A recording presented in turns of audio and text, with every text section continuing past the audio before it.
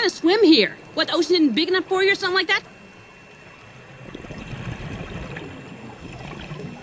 You want a piece of me? Yeah, yeah. Ooh, I'm scared now.